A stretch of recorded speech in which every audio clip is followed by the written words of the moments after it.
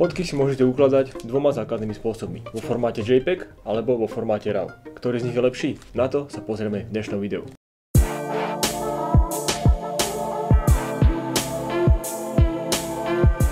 Takže začiatočník práve si si kúpil kameru, ideš vonka, spravíš nejaké fotky, ideš naspäť domov, natiahneš si ich do počítača, že chceš ich editovať, začneš sa s nimi hrať a stane sa toto. Fotka sa začne rozpadať. Úplne vidíš, že tie farby sú úplne rozpadnuté a začneš sa čudovať, prečo to tak je. Že dôvod je ten, že automaticky väčšina kamier je nastavených že ukladajú fotky vo formáte JPEG. Formát JPEG je 8 bajtový formát. To znamená, pokiaľ máte 8 bajtový formát, tak každá farba z rozhrania RGB, čo je vlastne červená, zelená a modrá, ktorá, ktorých sa kombinujú všetky ostatné farby, majú 256 odtieňov. Takže pri 8 bitoch dostávate 256 odtieňov z každej tejto farby. To znamená 256 x 256 x 256. To nám dáva 16 miliónov. Takže 16 miliónov odtieňov farieb, s ktorými sa môžete vlastne hrať, ale na úpravu fotky to nestačí. Taktiež JPEG formát není veľmi dobrý formát na prenos týchto fotografií a vždy, keď nejakú, vždy, keď nejakú fotku otvoríte, zavriete, presuniete, skopírujete, stráca na kvalite. Pokiaľ si chcete fotky iba niekam uložiť alebo proste mať na nejakom úložisku a chcete mať na nejakom USB kľúči čo najviac možných fotiek, tak proste určite si fotie vo formáte JPEG, tam si ich poukladajte a hotovo. Ale čo robiť, pokiaľ chceš fotky upravovať?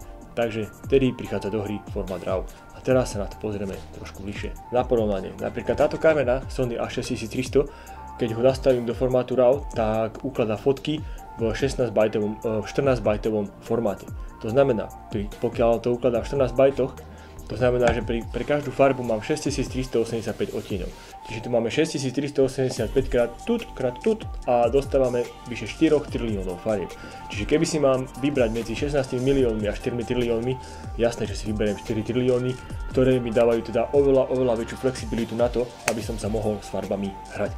Taktiež pri formáte RAW dostávate oveľa väčší dynamický rozsah, pričom dostávate oveľa viacej detailov v tieňoch a taktiež aj vo highlightoch a svetlých častiach fotky. RAW je vlastne neskom, dá sa povedať, že to sú to surové dáta, ktoré sú vlastne neupravené do žiadneho formátu a upravíte si ho do formátu až v počítači. Keď je napríklad kamera nastavená na formát JPEG, tak tá vnútri kamery tak vnútri v kamere ten systém automaticky proste upraví dáta do formátu JPEG, to znamená, že ich skomprimuje, sú menšie a sú hodné akorát na to, aby ste si tú fotku niekam odložili, uložili a potom niekedy tak pozerali.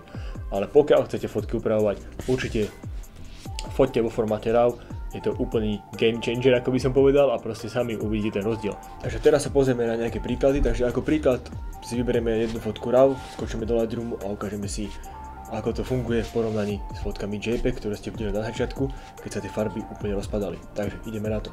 Tu sa nachádzame v Lightroome a vybral som si fotku vlastne z Národného parku v Kanade, ktorý je vlastne Banff Národný park, jedno určite z najlepších a najkrajších miest, aké som zatiaľ v živote videl. A vlastne na tejto fotke som, tak je to super pohode, vyzerá to takto, ale spravil som masonovnú úpravu.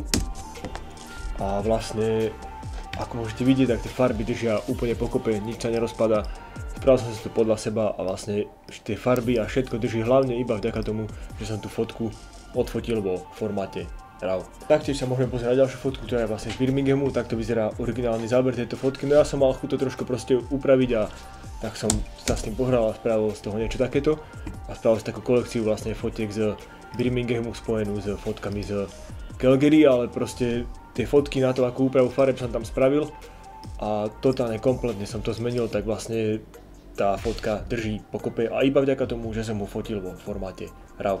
Takže ale teraz prichádza vlastne narad to, že prečo by som tie fotky upravoval, prečo nie niektorí ľudia hovoria, že to je fejkovanie, alebo že to je, neviem, že to je proste nie realita a neviem, či tak proste to je asi každá osobná vec, proste ja rád fotky upravujem, tak si vždy nejako upravím, tak ako sa mi páčia.